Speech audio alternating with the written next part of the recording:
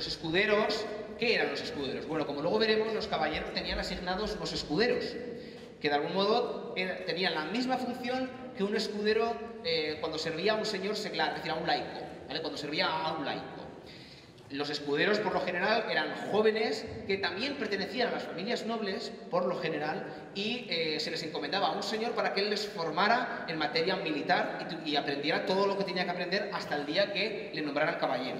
De modo que aprendía las artes de las armas, pero también asistía al propio caballero. Era el que le preparaba la ropa, el que le vestía la armadura, etcétera, etcétera, el que iban de caza juntos, etcétera los, caballeros templarios, es decir, los templarios, los frailes templarios también tenían sargentos y vivían en comunidad. Ahora bien, no eran eh, religiosos, es decir, lo podían ser, pero no hacían los votos. ¿eh? Supongo que eso queda claro. Ellos no tenían el voto de castidad, ni el de pobreza, ni el de obediencia. No estaban obligados a hacer las horas canónicas sin menoscabo de que las hicieran.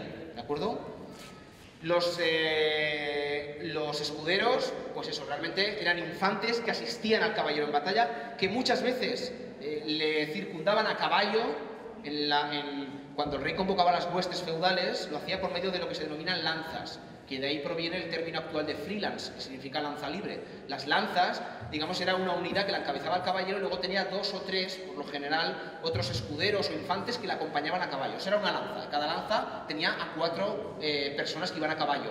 Luego el rey contaba todas las lanzas y podía, de alguna manera, formar su propio ejército hasta que aparecieron las asoldadas, porque les salía más barato contratar a los mercenarios que seguir manteniendo pues, un régimen feudal de esta manera, a partir del siglo XIV sobre todo. Entonces, los escuderos podían ir a pie, podían, eh, muchas veces les salvaban la vida al propio caballero, pero también iban a caballo y le asistían en batalla.